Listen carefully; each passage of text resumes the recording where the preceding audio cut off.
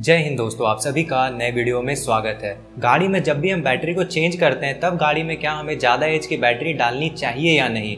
और गाड़ी में जब हम बैटरी ज़्यादा एज की डाल देते हैं तो उसके फ़ायदे और नुकसान क्या हैं? और जब गाड़ी में हम कम एज की बैटरी डालते हैं, तब गाड़ी में क्या नुकसान होता है? और कब और कितना एज किसी गाड़ी के बैटरी में हम बढ़ा सकते हैं? तो ये वीडियो पूरा इन्हीं बातों पे होने वाला है। और इस वीडियो को मैंने काफ़ी इन्फॉर्मेटिव बनाया है तो इस वीडियो को पूरा एंड तक ज़रूर देखिए। तो सबसे पहले समझिए कि बैटरी में लिखा होता है थर्टी फाइव एच 55 एच और 65 एच यहाँ पे एच का क्या मतलब है? एच का मतलब होता है एम्पियर आवर एम्पियर मतलब करंट का वैल्यू हो गया और आवर का मतलब हो गया समय और कितना समय? एक घंटे का समय. तो अगर किसी बैटरी में लिखा है 100 एच तो इसका मतलब है कि वो बैटरी 100 एम्पियर की करंट एक घंटे तक देगी या वही बैटरी आपकी 50 एम्पियर की करंट दो घंटे तक देगी. अब दूसरा पॉइंट ये आता है कि गाड़ी में ज़्यादा एच की बैटरी डालने के फ़ायदे क्या हैं? तो देखिए, ज़्यादा एच मतलब कि एक्स्ट्रा एनर्जी कैपेसिटी कैपेसिटी जो गाड़ी के किसी भी डिवाइसेस और एसेसरीज को हार्म नहीं करेंगे।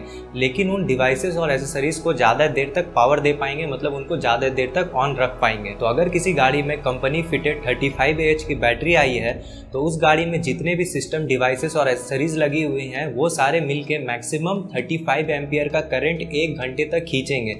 लेकिन ऐसा होता नहीं है क्योंकि सारे एसेसरीज हर समय नहीं चलते हैं। और गाड़ी का सेल्फ सबसे ज़्यादा बैटरी से करंट खींचता है और गाड़ी को एक बार स्टार्ट करने के बाद में हमारा बैटरी सर्किट से आउट हो जाता है।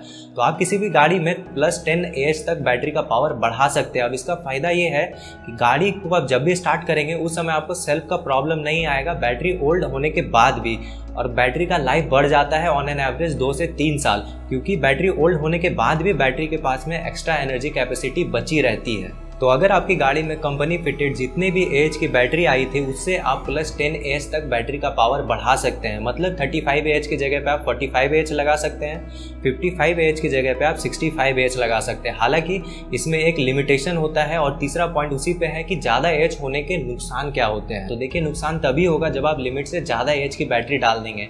मतलब कि थर्टी फाइव एच की जगह पे फिफ्टी फाइव एच और फिफ्टी फाइव एच की जगह पे सेवेंटी फाइव एच और सीधे आपका नुकसान अल्टरनेटर को होता है चार्जिंग के टाइम पे अल्टरनेटर पे ओवरलोड पड़ेगा और जब गाड़ी रनिंग कंडीशन पे होती है तो उस टाइम पे ज़्यादा एच होने से आपकी अल्टरनेटर के डायोड सर्किट और डायोड डैमेज हो सकते हैं। हालाँकि इसको एक लिमिट से बढ़ाने से कोई भी नुकसान नहीं होता है और आप जब भी गाड़ी में बैटरी चेंज करने जाएँगे, ज़्यादातर शॉप वाले आपको रिकमेंड करते हैं ज़्यादा एच की बैटरी डालने के लिए। लेकिन आपको सिर्फ़ और सिर्फ़ प्लस टेन एच तक बढ़ाना है, उसके पीछे का कारण यही होता है। अब चौथा पॉइंट ये है कि गाड़ी में जब आप कम एज की बैटरी डालते हैं तो उसका नुकसान क्या होता है? देखिए, गाड़ी में कम एज की बैटरी डालने से गाड़ी में आपको स्टार्टिंग का प्रॉब्लम आएगा सेल्फ का प्रॉब्लम होने लगेगा।